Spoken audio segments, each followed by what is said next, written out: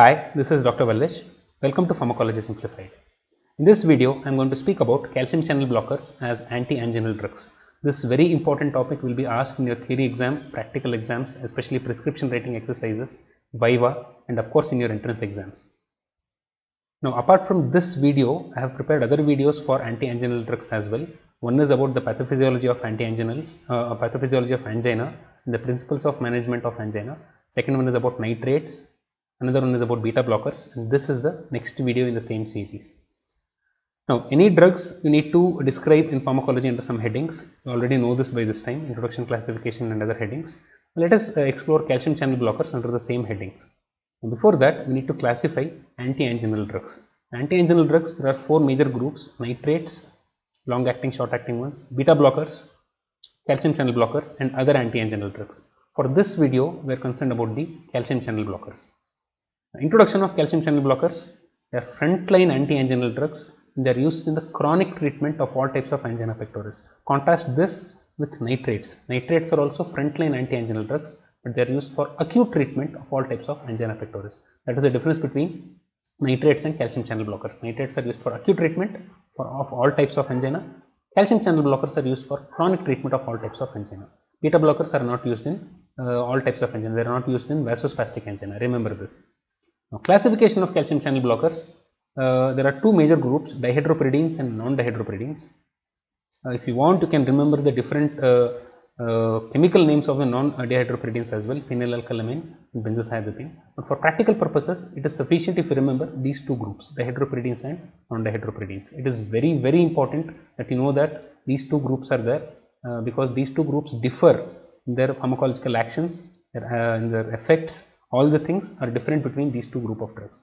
Dihydropyridines, uh, all the dipins, nifedipine, amlodipine, cilnidipine, benidipine are all dihydropyridines amlodipine perhaps is the most popular of the dihydropyridines. Now, when it comes to non-dihydropyridines, we have verapamil, which is a phenylalkylamine, and diltiazem, which is a benzothiazepine. Now, remember, diltiazem is a benzothiazepine. There is another similar group of drugs called benzodiazepines. Example for a benzodiazepine is diazepam. Remember this very important difference. Benzothiazepine is diltiazem. You can see the T into the both of the uh, names there. Diltiazem is a benzothiazepine which is used used in cardiovascular system, whereas diazepam is a benzodiazepine useful in CNS as a sedative hypnotic agent. Please do not confuse this. So this is the classification. Moving on, next heading is the mechanism of action. As the name itself suggests, calcium channel blockers block some type of calcium channels. Which type of calcium channels uh, are these? There are different types of calcium channels, L type, N type, LN, TPQ, all these different types of calcium channels are there. Out of all these, calcium channel blockers block the L type voltage gated calcium channels. So with this, if the L type voltage gated calcium channels are blocked, calcium cannot enter the cell on which this calcium channel is located. And the most important locations for the L type calcium channels are the three types of muscles myocardial, uh, myocardial muscle, vascular smooth muscle and other smooth muscles. They are also present in the skeletal muscles, but the calcium channel blockers do not affect that much the L type calcium channels that are located in the skeletal muscles. Apart from that, we are having myocardium and smooth muscles, vascular smooth muscles and other smooth muscles. In all these three uh, locations, the L type calcium channels are required for excitation contraction coupling. Whenever there is excitation of the muscle, there is opening up of these L type calcium channels and calciums enter, calcium uh, ions enter the uh, cell, whether it is myocardial, uh, myocardium or whether it is smooth muscle located in the blood vessels or extravascular smooth muscle.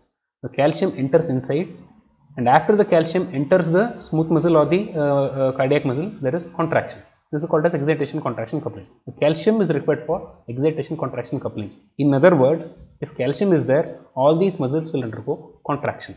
What will happen if L-type calcium channels are blocked? The calcium will not enter the cell, correct? If calcium does not enter the cell, what is going to happen? Opposite of contraction, that is relaxation. So, relaxation in the myocardium will lead to myocardial depression. Relaxation in the vascular smooth muscle will lead to vasodilatation. Relaxation in other smooth muscles lead to various other effects. Now, L-type voltage gated calcium channels are also located in the cardiac conducting system. especially in the SA node and AV node. They are also located on the Purkinje cells as well, Purkinje fibers as well, but especially in the SA node, AV node, uh, L-type calcium channels are located. Here, they serve a different purpose. They are responsible for phase 0 of pacemaker potential. What is this phase 0 of pacemaker potential and what is the cardiac action potential? That is a topic for a different video. Here, I'll just recapitulate. This is pacemaker action potential. There are two types of action potentials. This action potential is seen in pacemaker cells, SA node, AV node, Purkinje, bundle of His, all these uh, uh, fibers. This type of action potential is seen. Here you can see phase 0 is there. There is no phase 1, there is no phase 2 directly, there is phase 3, then there is phase 4, again there is phase 0. Phase 0 of pacemaker action potential, calcium is moving inside, whereas phase 0 of myocyte action potential, sodium is moving inside. That is an important difference. Uh, I will cover that in a different video. Here it is it suffice to say, say that phase 0 of pacemaker action potential, calcium is entering inside and through where the calcium is entering inside, it is through the L-type calcium channels. Now, if L-type calcium channels are blocked here, what is going to happen? Calcium does not enter and as a result, heart rate is going to fall that is called as bradycardia. Now, the most important effects in the heart as you can see here, one is myocardial depression. Again, bradycardia is a form of myocardial depression, that is the first one. Second one is vasodilatation. So, these are the two major actions of calcium channel blockers in the heart. That is cardiac depression, the second one is vasodilatation. So, cardiac action is cardiac depression, vascular action is vasodilatation. I told you the classification of uh, calcium channel blockers is very very important because uh, the two groups of drugs differ everywhere uh, with respect to the action, with respect to the outcome, everything. So, let us see how it is important here. Remember, the cardiac action, that is cardiac depression, is more prominent with the non-DHPs, whereas vascular action is more prominent with the DHPs. This is something that you need to remember. If you remember this, everything else becomes very easy. The cardiac action is more often seen with DHPs, uh, non-DHPs, whereas vascular action is seen with DHPs. Non-DHPs have cardiac action more than vascular action, DHPs have vascular action more than cardiac action. Now, even within the non-DHPs, we are having verapamil and diltiazem, right? Now, verapamil diltiazem are like brothers, younger brother, elder brother. Verapamil is the elder brother, diltiazem is like the younger brother. Whatever verapamil does, diltiazem also does, but with less efficacy. Remember this concept very well.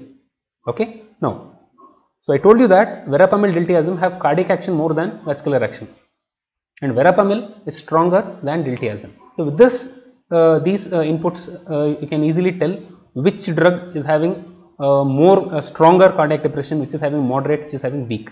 Verapamil should have strong cardiac depression. And vascular action is mild, right? So it should have moderate vasc uh, the, vasodilatation.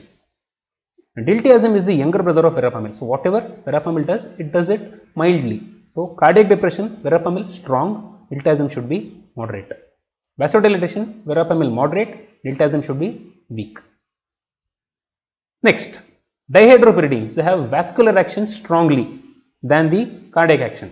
So, vasodilatation should be strong with dihydropyridines, whereas cardiac depression is weak. Remember this concept very well Uh, uh, will uh, elaborate up upon this in subsequent slides. Now, with these uh, this information, we can actually grade the cardiac depression and vasodilatation. So, cardiac depression strong to weak, verapamil and diltiazem followed by dihydropyridines. Vasodilatation from strong to weak, strongest is dihydropyridines followed by verapamil and diltiazem. Remember the relation between verapamil and diltiazem. Diltiazem always is weaker when compared to verapamil.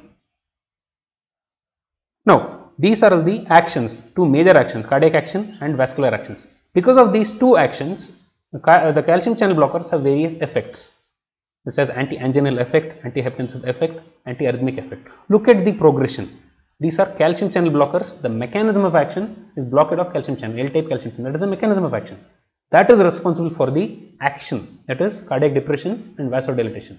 The action is responsible for the effect. What is the effect? Anti-anginal effect, antihypertensive effect, antiarrhythmic effect. Mechanism of action leads to action, action leads to effect. This relation is very clearly uh, explainable if you remember the calcium channel blockers. So, let us further dissect the cardiac depression and vasodilatation. So, cardiac depression due to calcium channel blockers uh, by inhibiting calcium influx into the myocardial cells leading to reduced force of contraction and it will also inhibit the calcium influx into SA node AV node that is the conducting system that will lead to decrease in heart rate, reduced cardiac conduction. All these things that is reduced force of contraction, reduced heart rate, reduced conduction is seen because of cardiac depression. On the other hand, vasodilatation is seen because of inhibition of calcium influx into the vascular smooth muscle that will lead to vasodilatation of both arteries and arterioles. Understood? So, we, we can uh, remember this side by side and throughout this video I have used red color for cardiac depression and blue color for vasodilatation. Moving on, uh, again this is more of a uh, recapitulation, strength of cardiac depression, verapamil, diltiazem, dihydropyridines. On the other hand, strength of vasodilatation, verapamil, diltiazem, dihydropyridines. So, cardiac depression, strongest cardiac depression is seen with verapamil, moderate uh, cardiac depression is seen with diltiazem and dihydropyridines have weak cardiac depression. On the other hand, vasodilatation, strongest vasodilatation is seen with the seen with dihydropyridines. Moderate is seen with verapamil, weak is seen with diltiazem. Understood? So, this concept is very very important that is the reason why I have repeated this in, in uh, two slides. Moving on, this is a very very important slide the comparison between nitrates and calcium channel blockers when it comes to vasodilatation. Remember nitrates are also vasodilators, calcium channel blockers are also vasodilators, but how they uh, do the vasodilatation and which vessels are affected is very very important. Now, vessels affected, nitrates, if you remember nitrates are venodilators more than arteriodilators, whereas calcium channel blockers is just the opposite, arteries more than veins. Another very important point, perhaps this is the most important point of all, small arterioles are not affected by nitrates but calcium channel blockers dilate both large arteries and small arterioles. This is very, very important. And because of this, because small arteries, arterioles are not dilated by the nitrates, coronary autoregulation is not affected by the nitrates.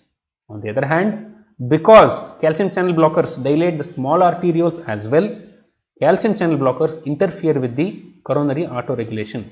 And perhaps this is the reason why coronary steal phenomenon is not seen with nitrates whereas coronary steal phenomenon is seen with calcium channel blockers especially the short acting ones. Short acting calcium channel blockers such as nifedipine previously sublingual nifedipine was given for various uh, conditions including angina.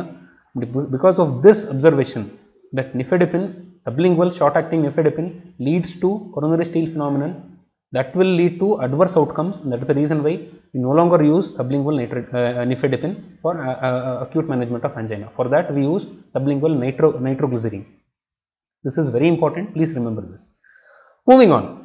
So, we have seen the mechanism of action, we have seen the action. Let us look at the effect. The first uh, most important effect is anti-anginal effect and that is the topic of this video. So, anti-anginal effect of calcium channel blockers. If you remember, uh, whenever we are speaking about anti-anginal drugs, we need to bring in two concepts that is myocardial oxygen demand, myocardial oxygen supply. Now, uh, on the one hand, calcium channel blockers produce peripheral arteriodilation. Because of that, there is fall in blood pressure. If the blood pressure is reduced, there is reduction in afterload and because of that, myocardial workload or myocardial work is reduced. That is on the one hand. Secondly, because of the direct action on the heart, they produce cardiac depression. Now remember the first one, peripheral arteriodilation, is more often seen with dihydropyridines. Remember DHPs have vascular more than cardiac action. The second one, direct cardiac depression, is more often seen with non-DHP such as verapamil diltiazem. But because of both of these actions, there is reduced myocardial work leading to reduced myocardial oxygen demand. This is the rationale behind using calcium channel blockers in classical angina. If classical angina is there, you can use both dihydropyridines and verapamil. However, we use dihydropyridines more than verapamil in management. Whenever we are using uh, calcium channel blockers in angina, it is more often dihydropyridines such as amlodipine and other drugs. This is on the one hand. Next, we also know that calcium channel blockers dilate arteries, especially the coronary arteries they produce coronary vasodilatation in the proximal segment of the coronary artery. That will lead to relief of vasospasm if it is present. This is the rationale behind using calcium channel blockers in another type of angina which is that that is vasospastic angina because it will increase the myocardial blood supply. If there is vasospasm, the angina is because of that there is a rationale for using calcium channel blockers for the management of that type of angina, which is vasospastic angina. The problem is, the problem is calcium channel blockers do not stop with relaxing the proximal larger segment of the arteries. They also relax the distal smaller arterioles. And because of that, calcium channel blockers, especially the short acting ones, will lead to coronary steal phenomenon. Remember this. And uh, as I told you earlier, for the management of angina, we use dihydropyridine calcium channel blockers more often than the verapamil and diltiazem, the non-DHPs. We use DHPs more than non-DHPs. This is the anti-anginal effect. Other cardiovascular effects also are there, anti-arrhythmic effect and anti-hypertensive effect. If you see these two effects, anti-arrhythmic effect is more often because of the direct cardiac action, whereas anti-hypertensive effect is more of a vascular action than the cardiac action. Now, if you have followed uh, me till this point, can very easily tell which group of calcium channel blockers are used for anti-arrhythmic effect, which group is used for anti-hypertensive effect. So, anti-arrhythmic effect, cardiac action, which group should be used? Is it DHPs or non-DHPs? It should be non-DHPs. Verapamil diltiazem is more often used than DHP. That is the reason why verapamil is a drug of choice for which arrhythmia? It is a drug of choice for PSVT, paroxysmal supraventricular tachycardia. On the other hand, antihypertensive effect, it is a vascular action. So DHPs are more often used when compared to verapamil diltiazem. That is the reason why the frontline drugs for management of hypertension A, B, C, D, B is no longer there. What is C? Calcium channel blockers. Which calcium channel blockers? It is DHPs. Especially we use amlodipine for antihypertensive effect.